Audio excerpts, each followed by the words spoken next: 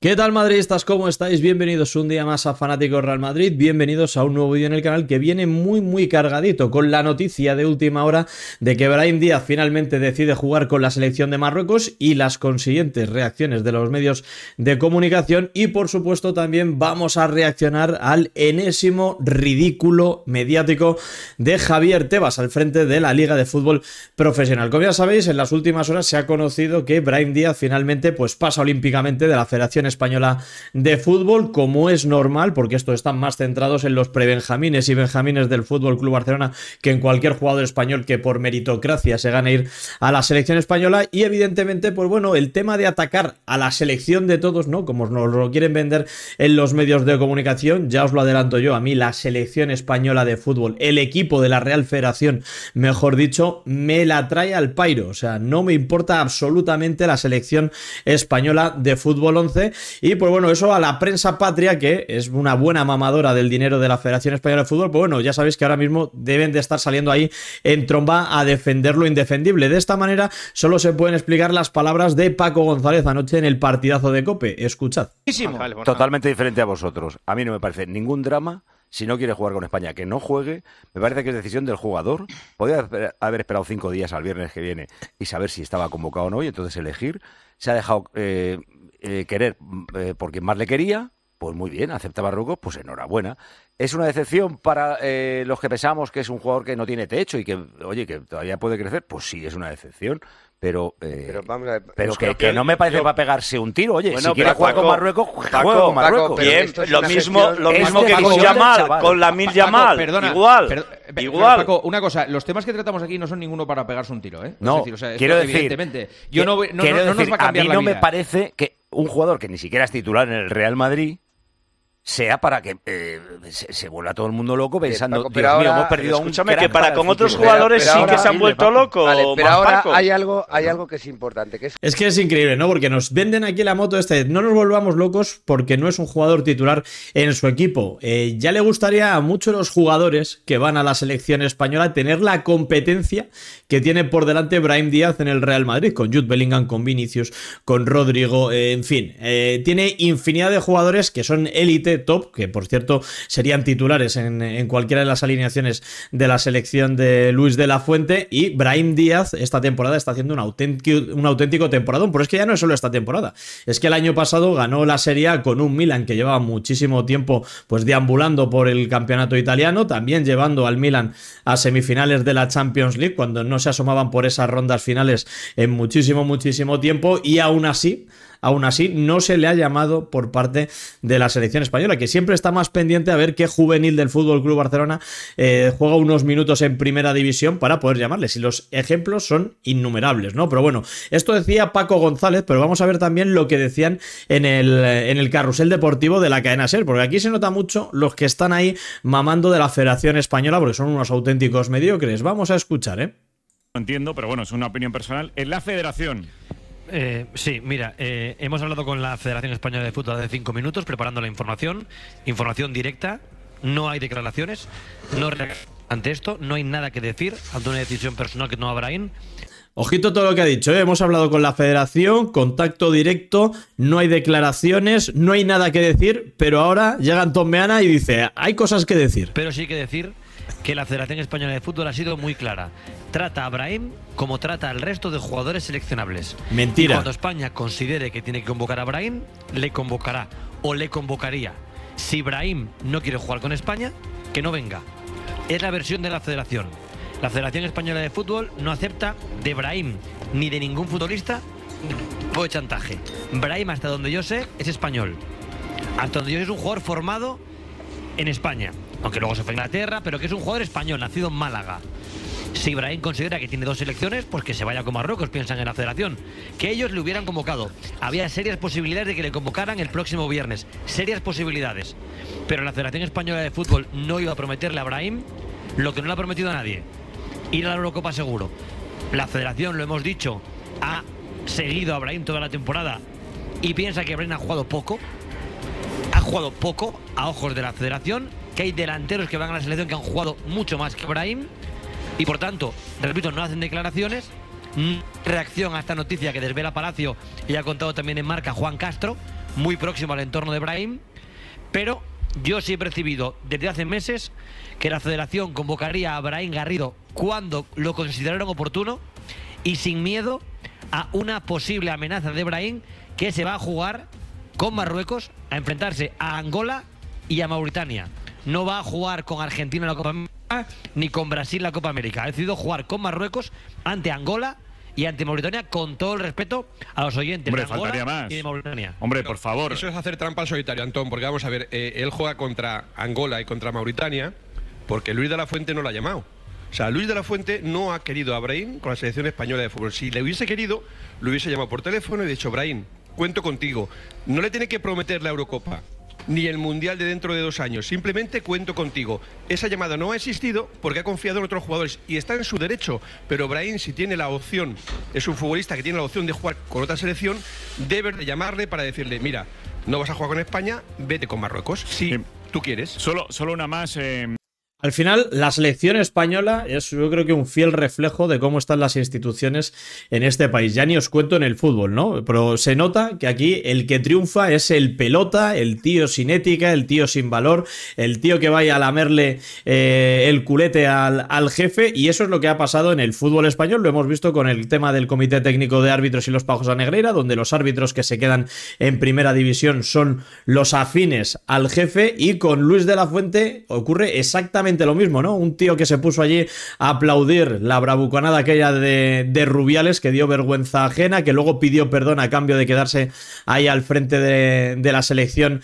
española. Y la verdad es que, bueno, me llama la atención que digan, no, es que nosotros, la federación dice que eh, trata a Abraham eh, igual que ha tratado a otros jugadores. Esta misma temporada, a principio de temporada, mandaron una delegación a Barcelona a comer con, con Lamin Yamal y los padres para de venderle un plan de carrera dentro de la selección española, ¿no? Hemos visto lo que han hecho con Munir, hemos visto lo que han hecho con Boyan, hemos visto lo que han hecho con Abde, sin ir más lejos aquí. Y encima todavía hemos tenido que aguantar hoy las declaraciones de, Luis de la Fuente, que es un tío muy mentiroso, es un tío muy mentiroso y además creo que le ha sobrado bastante lo que ha dicho hoy. Vamos a escuchar lo que ha dicho en un acto en la Universidad Alfonso X el Sabio en Madrid y vosotros me vais comentando en los comentarios qué os parece. Respeto total y absolutamente su postura.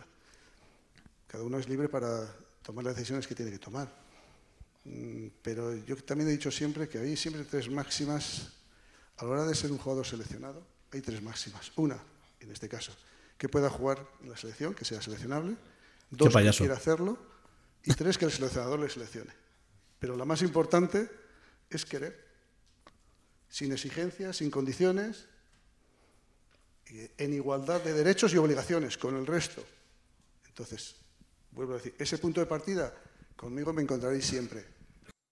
Qué auténtico payaso, porque Brahim podría haber estado jugando con Marruecos desde hace muchísimo tiempo, incluso podría haber ido al Mundial de hace de la temporada pasada con Marruecos y no haber esperado, ¿no? En España se le ha ninguneado, ya sabemos cómo funciona la Federación Española de Fútbol, es que lo hemos visto en infinidad de casos, pero es que podemos hablar de Eric García, que en cuanto ha dejado, por cierto, de estar en el Fútbol Club Barcelona y está en el Girona, jugando más minutos que de los que juega en el Barça, no ha ido con la selección. Hemos visto también cómo se ha comportado la selección española con Lenormand, ¿no? Que podía jugar con Francia y dice, cuando me llamó el seleccionador, la decisión fue muy rápida. Entonces aquí sí que está reconociendo, por ejemplo, lo que negaban antes, ¿no? Que la federación no llama a los jugadores, que el seleccionador no llama a los jugadores y sin embargo Lenormand aquí sí. Aquí sí que nos está reconociendo Lenormand que le llamó Luis de la Fuente para, para ver si quería ser seleccionable. Sobre lo de Brian Díaz y demás, por lo menos hemos encontrado hoy una, una, pequeña gota de agua en el desierto, que es la opinión de Paul Tenorio en Radio Marca, y creo que es muy acertada. Normalmente en los vídeos siempre comparto opiniones diferentes para poner a parir a todos estos eh, paletazos que tenemos en la prensa nacional, pero en el caso de Paul Tenorio, pues bueno, lo vamos a compartir porque además es un tío muy madridista y está ahí predicando madridismo entre tanto antimadridista en, en Radio Marca. Escuchad lo que ha dicho porque estoy muy de acuerdo con él. Martorell. Brahim Martorell. Brahim Martorell, estaría, estaría probablemente jugando ya convocado desde, infantil B con las con España. De hecho, él, iba con las con, las categorías inferiores de España. Brahim Pons, le queda bien él. yo creo, no creo, como dice José, a ver, me parece que es una decisión negligente de la Federación Española porque es un chico que ya desde el Milán viene despuntando y viene jugando muy bien. Es un chico que le dieron la, 10 del Milán y que lo hizo tan bien que se ganó el regreso al Real Madrid, que eso no mereciera una oportunidad en la sección española. Bueno, a lo mejor en el radar no estaba la Serie A, el radar de los distintos seleccionadores, pero en el Real Madrid está jugando muy bien. No, me vale que sea suplente en el Real Madrid, porque el Real Madrid su competencia no la tiene en la selección española. No tiene a Bellingham o no tiene a un Vinicius, no tiene a jugadores que, España pues que no va sobrada de talento y eso es otro motivo por el que debería haber probado Luis de la Fuente Abraham pues no, tiene esa competencia. No creo que España no, como todos hemos convenido muchas veces en decir, no tiene la mejor, mejor generación de futbolistas de su historia, tiene buenos jugadores, eh, ganó la Nations League además, la verdad es que totalmente de acuerdo con Paul Tenorio, que creo que he repetido prácticamente su misma opinión antes. O sea, es que al final tú miras la selección española y dices, ¿se puede realmente prescindir con los jugadores que hay ahora mismo de un jugador como Brian Díaz? Está haciendo muy buenos números esta temporada en el Real Madrid. Es verdad que no está siendo titular indiscutible, pero es que la competencia que hay en el Real Madrid es feroz. Es que no la hay en ningún otro equipo de la liga. O sea, Brian Díaz sería titular indiscutible en cualquiera de los 19 equipos de primera división esta temporada. ¿eh? Sería titular indiscutible en el Fútbol Club Barcelona y sería tal vez uno de los jugadores con más calidad de la plantilla.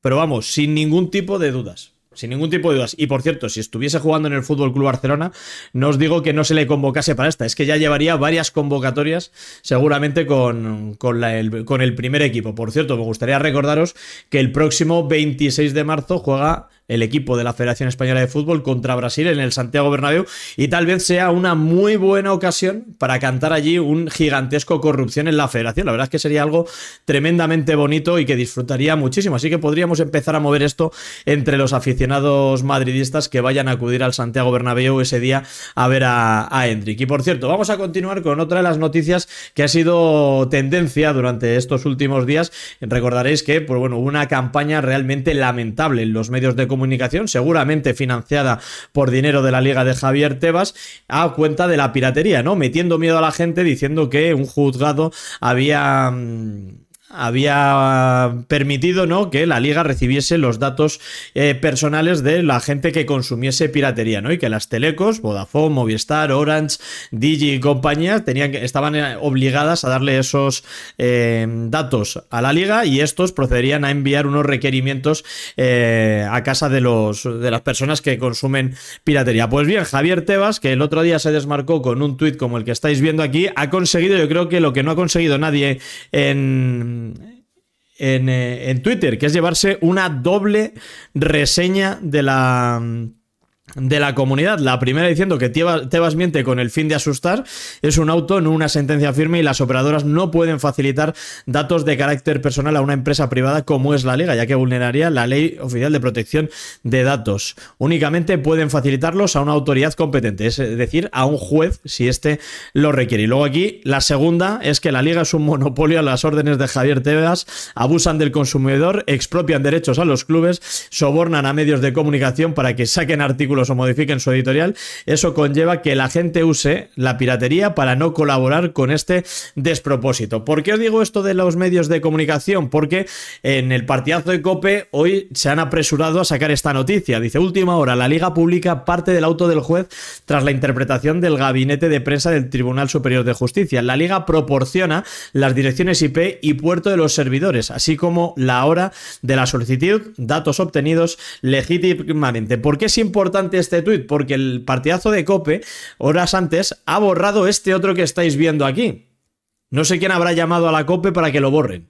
Pero este tuit está borrado. Dice, última hora sobre la piratería en el fútbol. Dice, un juzgado de Barcelona acuerda identificar a los card sharers que difunden la señal de los partidos y no a los que solo defraudan la cuota. Las demandas solo podrían ir dirigidas contra los card sharers, es decir, contra la gente que se está lucrando a costa de difundir la señal de los partidos. Pero tú, amigo que estás en casa usando el IPTV y demás, no tienes de qué temer nada porque no van a poder eh, denunciarte, ¿vale? No van a poder dar tus datos a la Liga de Fútbol Profesional. Sería un delito y estaría bastante bien que esto lo hiciesen. Por cierto, la Liga recordaréis que hace ya tiempo eh, tuvo que pagar una multa por vulnerar también los derechos de los consumidores al usar de forma fraudulenta su, aplicación móvil para espiar a, a los usuarios, ¿no? Activaban el micrófono y la localización para tratar de detectar los bares que emitían con la señal pirata. Pues bien, aquí estáis viendo esto que ha salido publicado esta tarde. Esto lo ha borrado el partidazo de Cope. Vamos a ver también por qué Evidentemente, pues bueno, muchos usuarios que suelen estar ahí analizando todas estas cosas, como H de RM, pues bueno, han sacado aquí unos extractos que vamos a leer ahora. Dice: el intento de manipulación que se ha intentado perpetrar en España es repugnante. La comunicación del Poder Judicial es clara. Estas diligencias solo podrían ir dirigidas contra los car que, que redifunden la señal para obtener un lucro, ¿vale? Vamos aquí. El auto, ¿vale? Comunicación del Poder Judicial y se faciliten los datos personales de quienes comparten ilícitamente sus contenidos, únicamente de los car y no por tanto de los que únicamente defraudan la cuota, ¿vale? Aquí lo tenemos más grande por si alguien todavía no le ha quedado claro y me pregunto yo, ¿va a pedir alguien perdón aquí? ¿No recordáis hace unos días que teníamos portada eh, a toda plana del marca? Teníamos editoriales en el AS, en la COPE, en la cadena SER. Estaban absolutamente todos coordinados metiendo miedo a la gente. Vamos con más cositas. Aquí con el bueno de Oyerfano. Dice, Tebas está pidiendo a COPE que borre esta noticia. Han borrado dos veces el tweet. Pero esto dice el Consejo General del Poder Judicial. Nadie puede pedir datos vuestros por ver IPTV. Si lo seguís haciendo, no os van a poder multar.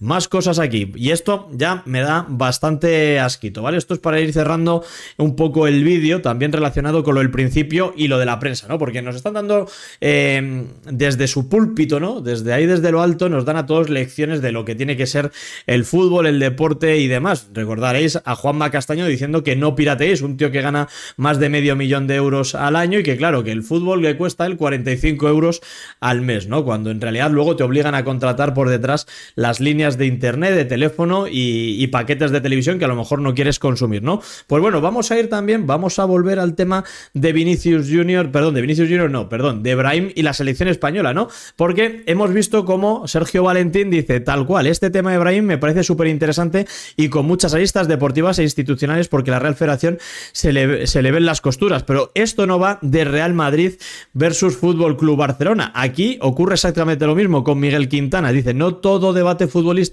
tenemos que convertirlo en un Real Madrid versus Fútbol Club Barcelona permanente. Medios y aficionados no es necesario ni tampoco es sano. Y francamente es muy, aburrido. Soberano coñazo.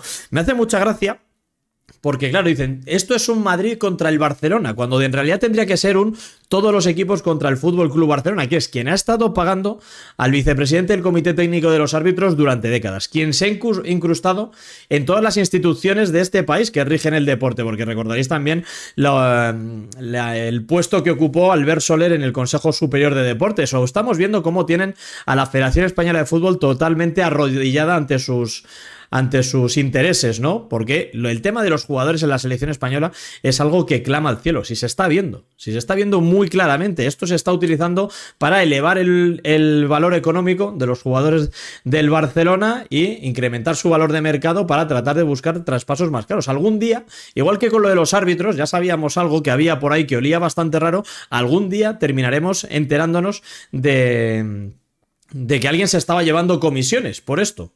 Porque esto no es casualidad.